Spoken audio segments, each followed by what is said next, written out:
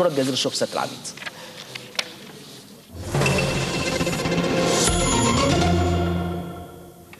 وقع الرئيس الروسي فلاديمير بوتين قانونا يستكمل ضم القرم إلى روسيا وذلك بعد مصادمة مجلس الاتحاد الروسي عليه. يأتي هذا بينما قال بوتين إنه يمتنع عن الرد على العقوبات الأمريكية وذلك في وقت نشرت فيه موسكو قائمتها للعقوبات ضد مسؤولين أمريكيين. لا تزال سياسة عض الأصابع هي المسيطرة على مواقف أطراف الأزمة الأوكرانية التي تتصاعد وتيرتها يوما بعد الآخر بين روسيا والغرب. ويبدو أن موسكو ماضية في طريقها غير أبها بما حولها من ضغوط دولية. فالرئيس الروسي فلاديمير بوتين صدق على قانون انضمام شبه جزيرة القرم إلى روسيا. قانون يسمح بإقامة منطقتين إداريتين روسيتين واحدة في القرم والثانية في سيفاستوبول.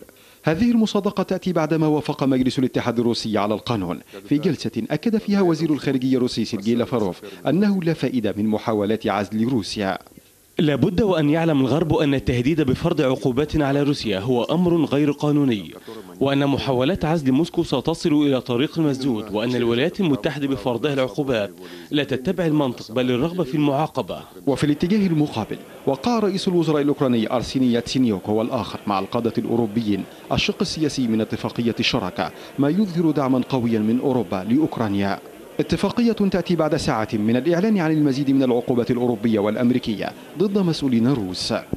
أؤمن بشدة بأن الاتحاد الأوروبي سيتحدث بلهجة قوية ليحمي أوكرانيا وأن الطريق المثلى لاحتواء روسيا هو فرض ضغوط اقتصادية فعلية عليها. لدينا خياران. الأول الخيار العسكري وهو في الحقيقة غير مقبول لأنه سيؤدي إلى حرب عالمية ثالثة. أما الخيار الثاني فهو الخيار السياسي والدبلوماسي والاقتصادي. فأفضل الطرق لإرغام روسيا على العدول عن مواقفها هي فرض مزيد من العقوبات عليها. وكان الاتحاد الأوروبي قد وافق على إضافة 12 اسما إلى قائمة العقوبات على المسؤولين الروس لتضم 33 اسما. كما أعلن الرئيس الأمريكي عقوبات أيضا على عدد آخر وبنك روسي. العقوبات الأمريكية قابلتها موسكو أيضا بفرض حظر على تسعة من المسؤولين الأمريكيين من الدخول إلى أراضيها.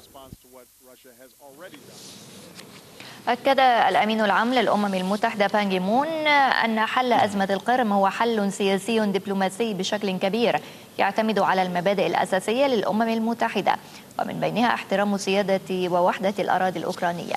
وأضاف مون خلال مؤتمر صحفي مشترك مع الرئيس الأوكراني المؤقت ألكسندر تريشنوف أنه التقى الرئيس الروسي بوتين ووزير خارجيته سيرجي لافاروف أمس في العاصمة الروسية موسكو. وأكد له على ضرورة حل الأزمة الحالية استنادا إلى الدبلوماسية.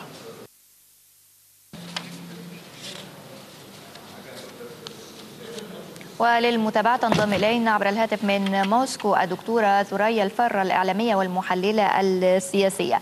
دكتورة ثريا غضب أمريكي أوروبي وإصرار روسي على مواصلة التحدي وضم جزيرة القرم إليها. هل نحن على أعتاب أزمة عالمية خاصة بعد حرب العقوبات التي يتبادلها الطرفان؟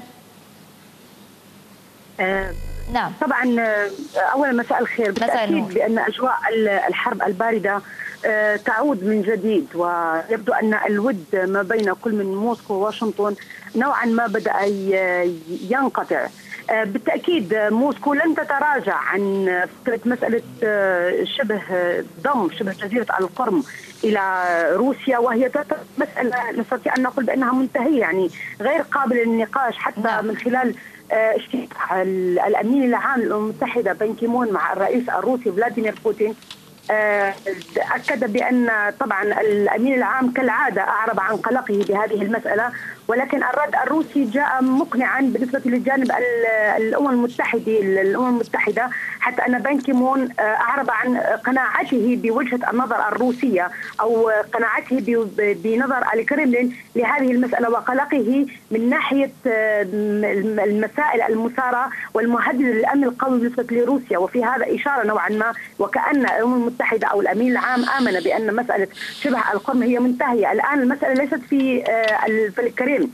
المسألة الآن إلى ما بعد الكريم وبالنسبة للجمهوريات الأخرى أو الأقاليم الأوكرانية الأخرى التي بدأت نوعا ما تنتفض وتطالب أيضا كما طالبت الحكومة الروسية بان يتم ذات القانون بضم شبه جزيرة القرم. هي أيضا تحاول الانضمام إلى إلى الاتحاد الفدرالي الروسي. اذا المسألة لم تعد في مسألة في سيفاستوبل أو حتى في القرم. اليوم الرئيس الروسي اليوم صادق على القانون الخاص نعم. بضم شبه الجزيرة مع سيفاستوبل وقع عليه.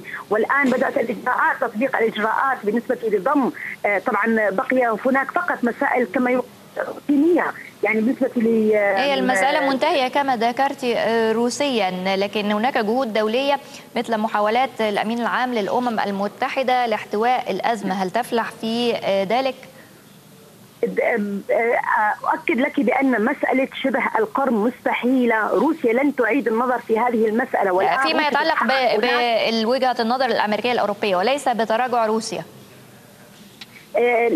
هذا يتعلق بمسألة الأمن القومي الروسي. يعني روسيا لن تتراجع ليس فقط من مسألة التهديد هي اولا الكريملين لم يتخذ هذه الخطوة إلا بعد تفكير عميق وطويل. هي تعلم تدرك تماما بأن مسألة فرض عقوبات على روسيا هي سلاح ذو حدين كما سيضر بروسيا سيضر أيضا بالأطراف الأخرى.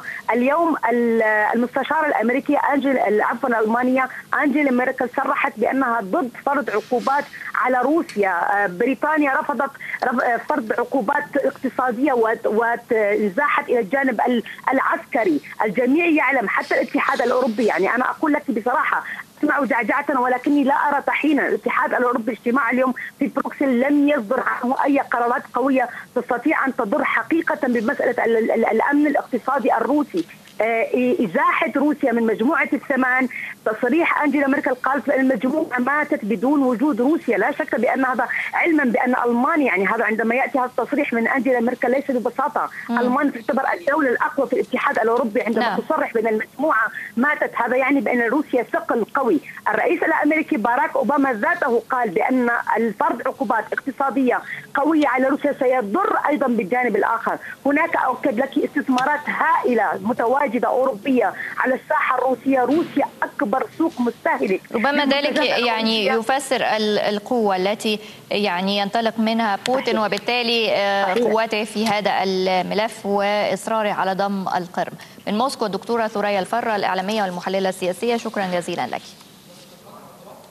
أكد وزير الخارجية نبيل فهمي الموقف المصري الداعم للدولة اللبنانية دون التدخل في الشؤون الداخلية.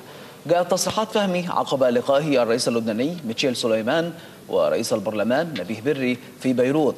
وأضاف فهمي أن أخطر ما يواجهه العالم العربي هو الإرهاب والتطرف مشددا على ترابط الأمن القومي بين مصر ولبنان.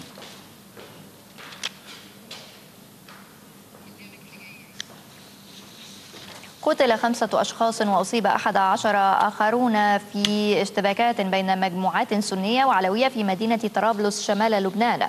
وقال مصدر أمني إن معارك عنيفة بالأسلحة الرشاشة والقذائف اندلعت بين المسلحين من باب التبانة وجبل محسن.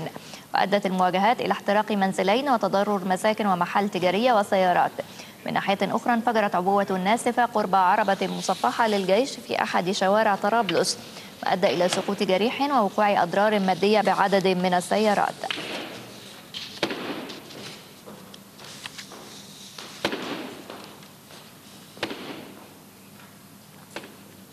قرر الرئيس اللبناني العماد ميشيل سليمان استئناف اجتماعات هيئة الحوار الوطني لمتابعة البحث الاستراتيجية الوطنية للدفاع في الحادي والثلاثين من مارس الجاري. يأتي ذلك بعدما نالت الحكومة اللبنانية الجديدة برئاسة تمام سلام ثقة مجلس النواب اللبناني بأكثرية 96 صوتا من أصل 101 للمرة الأولى منذ أكثر من عام تحصل لبنان على حكومة تتمتع بصلاحيات كاملة. بعدما نالت الحكومة الجديدة برئاسة تمام سلام ثقة مجلس النواب اللبناني بأغلبية كبيرة.